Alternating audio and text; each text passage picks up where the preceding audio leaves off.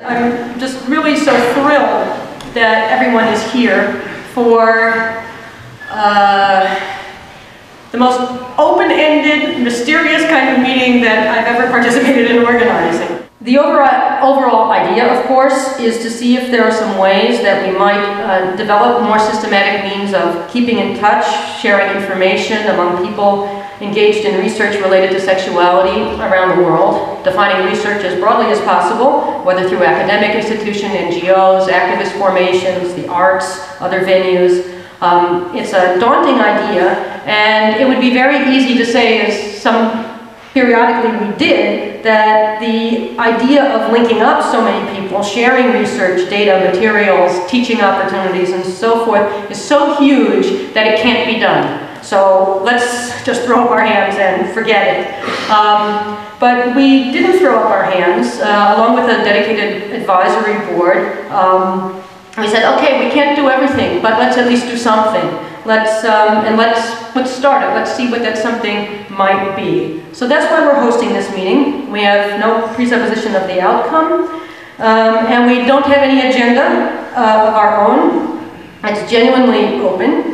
Um, and we're looking forward to assessing together what we have, imagining what we'd like, uh, and hammering out how to get it. Homosexuality has never been illegal in China, and uh, early last year um, it was delisted from the list of mental disorder um, from the Chinese Psychiatric Association. But we still have seen mixed um, signals coming from the government. Some activities were uh, stopped or, or banned or, or, or, interrupted by the government, such as the Lesbian Cultural Festival last year and also the Lesbian and Gay Film Festival last year. It took place, but it was um, a stop, order to stop in the middle. Because in the third world countries, there is a there is a separation between women's organizations and lesbian lesbian organizations. So when you try to explain to them in a meeting about the importance of including lesbians, they immediately react because they they don't feel secure about that. Even even though most of those women are lesbians. In the case of at least Brazil and many parts of Latin America, the movements are very strong now, and academic work is developing in the universities. It's all influenced by U.S. culture being able to not just for a one or two day conference, which is a very uh, ephemeral experience, but to be able to bring people from parts of the world to other parts of the world who are on that edge between activists and academics, who are in bo- both worlds in some way, um, would be a very important concrete thing that that CLAGS could help facilitate happening. I'm, I'm Deb Amory, and I was uh, fortunately chosen to summarize all, everything that happened this morning. Um, the eight general goals that were identified include building comparative methods and opportunities to broaden the kind of comparative work um, that, for example, legal scholars are doing. Secondly, to make more information accessible, and that would include to help distribute materials, provide access to journals online, um, download papers, data, reports, bibliographies. So just sort of the flow of information. Uh, thirdly, to provide descriptions of and inspirations for strategies of resistance. And this was linked to the goal of effecting transformation to build something that will help make change on the ground on a local level. Fourth would be to foster more exchange and understanding among activists and academics. Fifth would be to foster more exchange among scholars from different places exchanging syllabi, collaborating on research, co-teaching from afar, or by trading places. And sixth would be simply to diminish isolation. And seventh was a recommendation, do not create a new group, tie in, build on, learn from other movements and networks. And associated with that is to link to other movements for justice and other areas of study. And finally, to decentralize. There was a lot of discussion about the need for a decentralized um, network and approach uh, with perhaps, in, one suggestion was two tiers, a public and a public level that's accessible um, internationally and also uh, maintaining a level of confidentiality for security reasons for people to, to participate but also not to risk um, their safety. Immediately, I think what we can do is to have a um, number of volunteers who are just collate existing online resources. I would love to, you know, if someone is studying something intensely and then they've come across some articles and say, well, I can't wait to share this with other people who are interested in this topic. I want to put it on the internet. Let's do that. Summarize this article within 50 words or something like that. And now we can put it on a database saying that this is summarized by so and so, so the person has an accountability, you know, that they're not misquoting the data or uh, misreading the data. And then um, CLAGS people can try to contact the original author and ask the person to uh, approve of that or revise the sum summary. I would like to see something bigger that used the web. I mean, ideally. As opposed to just being a web project. I think as as vast and wonderful as this tool can be, um, uh, people's ability to access it will really determine its ultimate value over time.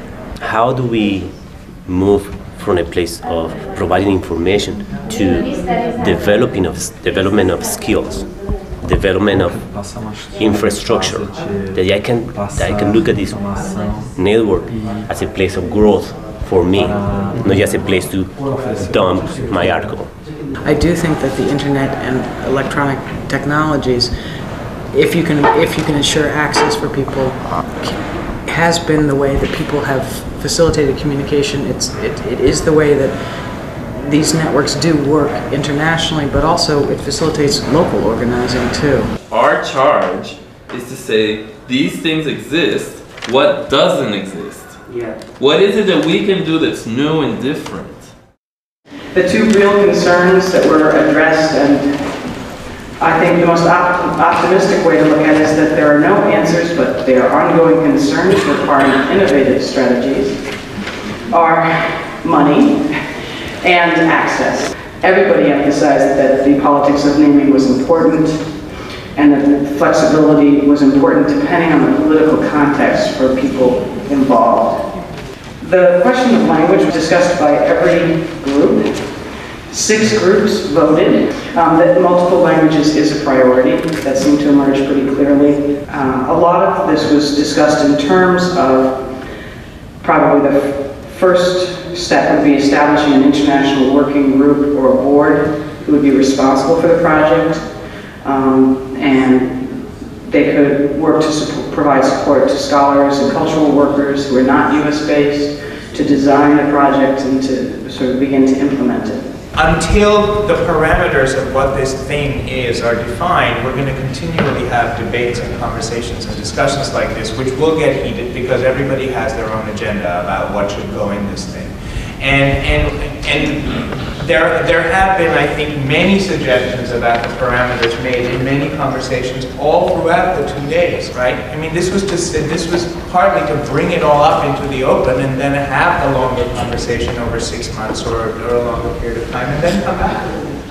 It, seems that we need to go with something, something uh, that we do need to leave these two days of, of working with something formed the, the key proposal is that an international working group is formed, and that international working group uh, will be formed from, from members of this current discussion. Um, people who, who join the working group would then go back to their local sites and identify other potential members of their local uh, subcommittees within the working group. Um, those groups will then identify what they think are the pressing issues and somehow feed back into this um, non-site specific, still to be determined um, working party. If this working group has a, a secretariat, so to speak, to deal with sort of those logistical questions, it has a set of principles that we've agreed on. And then the last thing I think it needs is a charge the ac access to architecture, access, language, governance, and nomenclature um, were the five areas that Deb actually articulated. And, and I think if those are the five charges that, that this group actually then takes upon itself to address um, and, and presents in the newsletter to the, to the general body that's sitting in this room and others who then want to join this group through CLAGS as the facilitator, then I think we have a next step.